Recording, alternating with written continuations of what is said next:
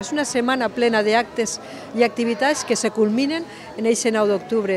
Eh, presentarem, com ja sé, una figura que volem tindre en compte i sobretot tindre els nostres maceros, aquells que acompanyaran a la senyera i acompanyaran a la ciutat de Torrent en els actes més importants i més representatius. Per a nosaltres des de l'Ajuntament bueno, és un honor convidar a tots els torrentins en totes les innovacions que tenim en guany. Primer el cartell, com veieu, una imatge gràfica potent i que arriba a tots els punts de la comunitat. El segon punt important és la baixada de la senyera i el canvi del recorregut recorregut. El tercer punt és l'espectacle. Per primera vegada anem a tindre el Ball de Torrent, és a dir, dos escenaris simultanis, música i ball.